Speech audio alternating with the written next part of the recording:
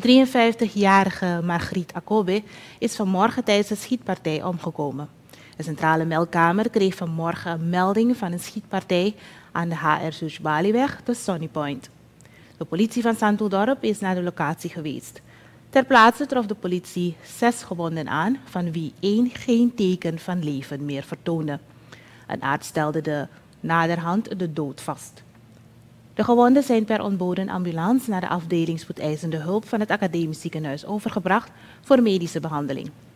De politie heeft een 21-jarige verdachte aangehouden die inmiddels bekend heeft met een jachtgeweer met ingekorte loop te hebben geschoten.